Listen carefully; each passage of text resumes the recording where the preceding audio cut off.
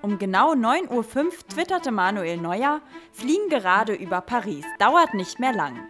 Und tatsächlich flog die Fanhansa wenig später über die Fanmeile und landete schließlich in Tegel.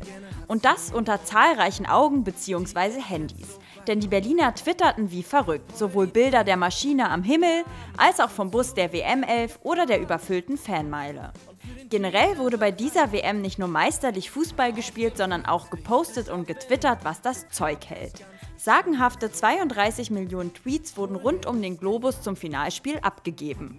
Darunter viele lustige Fotomontagen, die die Highlights der WM aufgreifen, wie zum Beispiel Deutschlands glorreichen Sieg über Brasilien.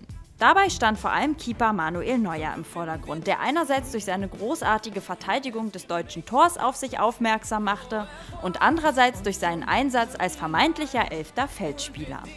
Weitere Internetlieblinge waren zum Beispiel Trainer Jogi Löw, der von 1 Live in Anlehnung an den König der Löwen kurzerhand zum König Löw umbenannt wurde.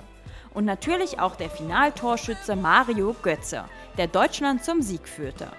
Dieser twitterte am Dienstag natürlich auch fleißig mit und postete zahlreiche Bilder von der Trophäe, vom Bus und von der Fanmeile.